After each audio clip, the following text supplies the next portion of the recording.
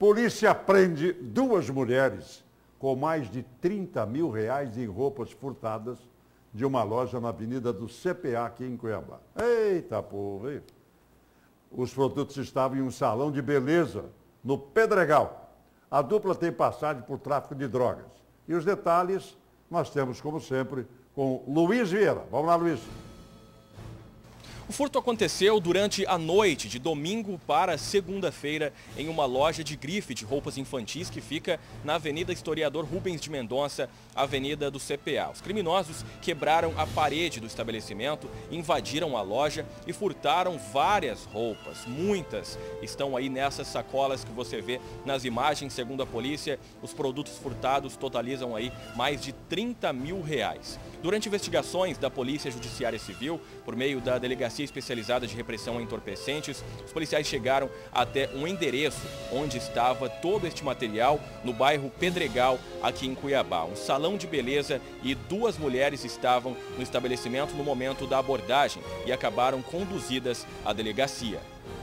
Você tem alguma ligação com, com ocorrência de tráfico de drogas? Não.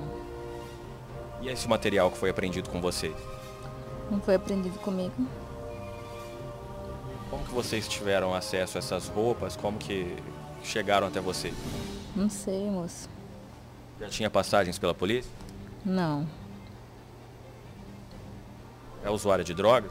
Não. E essa, é, esse material que foi encontrado aí, como que você explica isso? Não sei de nada.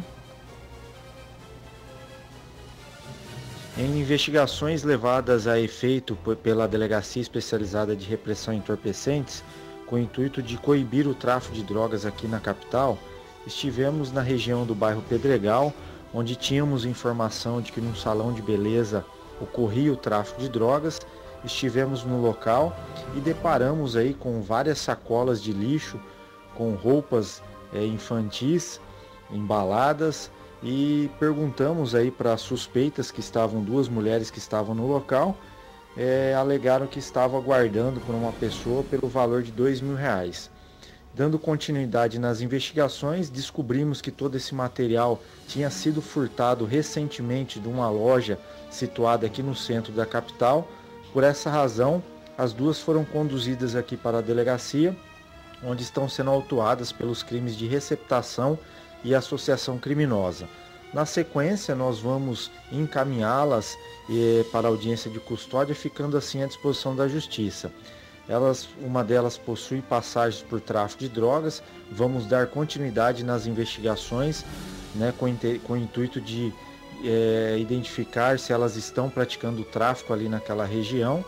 E o crime de furto e de receptação será encaminhado pra, para a Delegacia de Roubos e Furtos da capital para a continuidade das investigações desse crime patrimonial.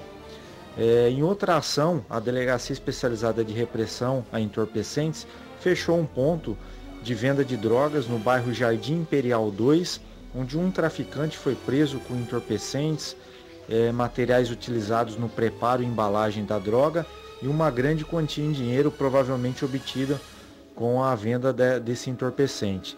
Ele também está sendo autuado por crime de tráfico de drogas e será encaminhado na sequência à audiência de custódia, ficando também à disposição da Justiça.